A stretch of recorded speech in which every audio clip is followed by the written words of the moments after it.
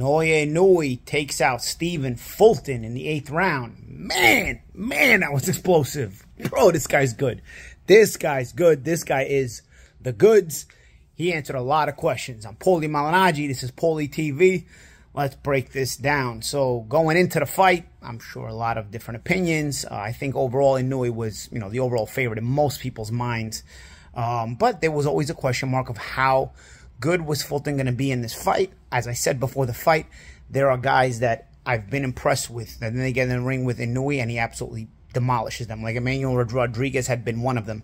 Uh, Nonito had been really impressive in the first fight, but in the second fight, he just didn't have anything left with which to, you know, bother Inoue. And uh, I was wondering if, as Inoue keeps getting better and better, what Fulton was going to be able to do. Because again, on paper, this was another guy that you're saying, hmm, I'm impressed with this opponent. Let's see if he's able to test the limits of Inoue. Let's see if he's able to make us see a ceiling for Inoue, or if he blows right through that ceiling and we've got to continue to see him against even better opposition in order to know just how good he can go, just how good he can be, and how how high he can go.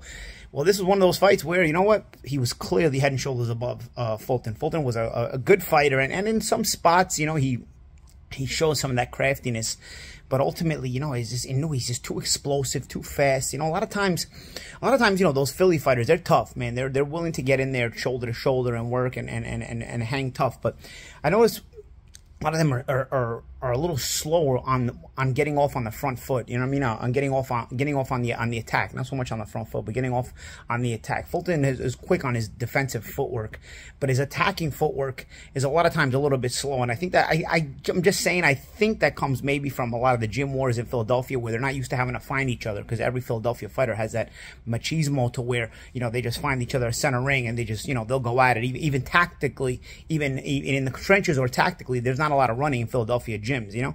So when you got a guy, I'm not saying Inoue was running, but Inoue is able to have that fast footwork out, in, out, in it seemed like Fulton was just too slow trying to close the gap. And every time he was trying to close that gap, it was like you knew he was quicker to get out, and then he'd fly back in, and he would just surprise Fulton, and, he was catching him with with hard, hard shots. You know, it's funny because the knockout that ended up coming was uh what uh, uh, me and uh, one of my old trainers used to work on a, a, combination called a roof. We call it a rooftop, where it's it's uh, you jab to the stomach and you throw the right hand to the head. So it's basically a one-two. It's thrown with a one-two speed, but you're not throwing the one-two in the same place. You're throwing the one at the chest or stomach and the right and the right and the two to the head, and it's got to come like that, real real quick, you know. So, and um, I had noticed Inoue tried it once or twice during the fight, and and and Fulton had his guard up in a, in a good position and kind of was able to, you know, let the right hand kind of whiz by or or partially take it, but not it wasn't getting through the same way. But when the knockout finally came, you could see it was Inoue had been broken down. Um, you know, uh, Fulton had been broken down, and Inoue had sort of started to make him worry about other things. You know, as the fight wore on, I knew he was starting to get off more shots, uh, more creative punches. And so now Fulton has to worry about so many other things that he, I think he sort of forgot about being alert to that combination. And they caught him real, real clean, man. And then again, the, the footwork is, his feet are so fast. Before the referee could even jump in, I mean, you know, he's throwing a, a left hook. People might say, oh, the glove had touched. That counts. That shouldn't be a knockdown because you know what? He hit him technically when he was down. But again, in that moment, the glove touched so barely that the fighter can't really can't really tell. You know, you're in you're in killer mode in that moment. So it's like you know you don't you can't really tell for sure if the glove touched the ground uh, for for for Fulton. Um, looking back, I, I think it did, but uh, so I think the referee should have been able to jump in between Inoue before he landed that last hook. But nonetheless, Inoue can't be held responsible for it because it's like you don't see it in that moment. It's just like it's a bang bang situation, you know. And uh, the referee was out of position; he was behind Inoue, and definitely wasn't as fast footed as Inoue because Inoue closed that gap quickly to land that last left hook uh, that caused the initial knockdown. And then, um, you know, once he got up, there was elementary. After that, he just trapped him and, and finished the fight with a with a blazing combination against the in the corner. You know, you give Fulton some credit though. You know, he hung tough. Um, he was thinking, he was trying to get through the whole way. One thing, one criticism I have for Fulton is you're a tactical fighter. Through that, through those tactics, at times he was landing a couple of straight right hands, a couple of jabs. You got to mix in some feints in there. You know, if you're gonna fight in a tactical fashion, you got, you can't fight tactically and then not use feints because when you land a couple of sharp shots like a right hand or, or a jab, your feints become more deadly. You know what I mean? If you're not landing, okay. You know, at a certain point, yeah, okay, he was in retreat mode. He was getting defensive and he was taking over the fight. But there were moments as the fight was picking up, even if Inoue was doing better, that Fulton was landing right hands. He was, land, was landing jabs, landing a couple of shots where you just have to use the feints in between those shots to really make it more effective and possibly slow the pressure of Inoue because you don't want to keep letting Inoue grow in confidence. And that's what ended up happening. You know, uh, Inoue at a certain point he wasn't really respecting the power of Fulton, but you know, you still don't want to just take a shot in the face. So if you're if you're still going to be sort of hesitant if you if you kind of if you're kept guessing with some feints you know what i'm saying like you don't have to the guy doesn't have to be hitting you hard but it, it, at a certain point fulton every time he was looking to throw a shot Inoue kind of could realize it because there's no feints in there. If you drop some feints in there, now you're going to make Inoue kind of budge or kind of hesitate just for a split second and you can kind of gain the angle on him. I don't even know if it, you know, if I'm verbalizing it in a way where people are going to understand it, but I just, it was it was something that I would have liked Fulton to see Fulton do because Fulton is a, a, good tactical fighter, and I think the feints in there would have at least helped him his cause somewhat. I don't think it would have won him the fight, but it would have maybe you know allowed him some some safety spots in between to where he could change momentum in little spots, and maybe ends up going the distance in the fight instead. You know, but ultimately a, a very very impressive performance by Inoue. Um, I don't even know where, where, where do you go from here. I mean, they got they brought this guy in the ring. What was his name? Tapales or something. I've never seen him fight, but uh, they brought him in the ring. I think Brandon Figueroa is still viable for Inoue. I mean, I, that would be an interesting interesting fight because Figueroa's style is kind of a mauler style. I would wonder how that would play out with a with a guy like Inoue who has that, the fast feet and the, and the sharp punches. I mean, obviously, I think at this point, after this kind of performance against Fulton, who was by and large looked at as the, the best guy at the at the weight class that Inoue was coming to, you know, he was able to absolutely dominate him. Inoue was able to dominate him. Yes, some people might say Brandon might have deserved the decision against Fulton, but it was still competitive. It was still a, a, a back and forth fight. You know, it was a good fight. Uh, this fight was a pretty dominant performance by Inoue. Yeah, Fulton showed some class in there, but ultimately, I mean, it was just it, Inoue dominated in the end and, and, and got the uh, a real devastating stoppage. I mean, he's he's explosive, man, punching power, fast feet, uh, just getting off on that that that that initial step when he closes that gap, man, and his timing, his sense of distance is just really, really, really impressive. I mean, he was the shorter guy, but yet he was getting in those pump jabs that were just really, really had some weight on them. You know, he was able to time them real perfectly and really was, was, was doing well with that too.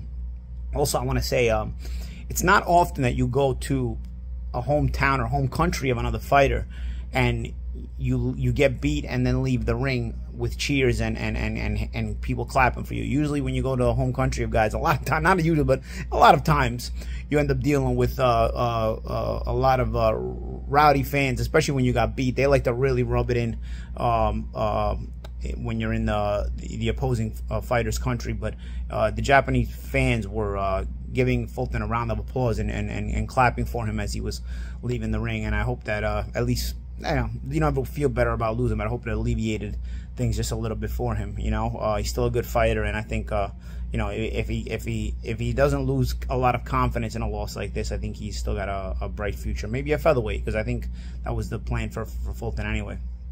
For Inoue, though, again, we just, you know, I, I mentioned uh, I like to see him with Figueroa. Maybe this guy Tapales is was what they're talking about now. He is an absolute megastar in Japan. It looks like, and his star is only going to continue to rise. Um, it's going to be interesting to see how they can sort of translate that here coming to the U.S. I don't know how many weight classes he can go up. Again, I don't really believe in continuing to let guys go up too many weight classes because you start to risk them and they can uh, get hurt at a certain point. But you know, we're in a weird era where you know you know what I think about that, and uh, it's it is what it is. But I think uh, ultimately it's a very impressive performance by Inoue, and I think he answered a lot of whatever questions might have been brought up, or at least whatever initial questions were thought to be brought up uh, in a, by an opponent the caliber of Fulton, who is a very good fighter. A dominant performance yet again. So, as I said before, this is a, a situation where you were looking to see if this was going to be a new ceiling against a guy like this, where even maybe if you beat him, if it was going to be competitive, you were going to say, okay, I, I don't know if he can go much, much, much higher than this in terms of quality and weight. But man, he dominated. So we still have not seen the ceiling for Naoya Inoue, and he's one of the most exciting fighters in the sport. Let me know what you think of his performance. Let me know what you think of him as a fighter. Can he become the number one pound for pound fighter in the world? Who knows? I mean, the ESPN guys were were, were making like he was he, uh, I think, I think Tim was, uh, no, not Tim. Uh, Kriegel was saying that, uh, um, you know, you got to look at him as a top pound for pound guy. Well, Tim was saying, you know, we still got to watch on Saturday night between Spence and Crawford. I agree with Tim. You know, I think you still have to see how Spencer Crawford plays out, and also you can't overlook Alexander Usyk just because Tyson Fury didn't fight him. Usyk has done a tremendous job in his own right in uh, earning his spot on the pound for pound list. So, so a lot of a lot of questions, uh, a lot to discuss. Uh, in a big, big fight week where we're still not done yet, uh, ESPN has uh, Estrada coming up on Friday night. She was one of the most one of the most talented pound for pound female fighters in the world. And then, of course, the big one is uh, Saturday night with uh, Spence and Crawford. So let let me know what your what your thoughts are, guys. Uh, let me know uh, who's your number one pound for pound. Does this affect your pound for pound list with it, with Inoue dismantling Fulton this way? You know, uh, where does Fulton go from here? Uh, and uh, who do you guys want to see Inoue fight? Personally, I want to see him against Figueroa, but I don't know a lot about Tapales. Maybe you guys know a little bit about him. So let me know. Uh, let me know what your comments and thoughts, and I'll talk to you guys later. This is Paulie Malignaggi for Paulie TV.